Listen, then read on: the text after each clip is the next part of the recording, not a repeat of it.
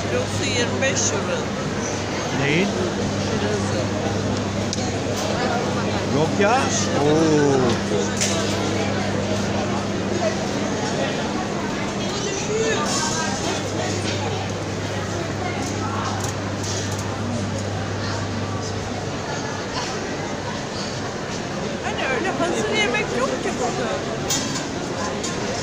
Yok e, ilk girişte var dedi Duran zaten. Burası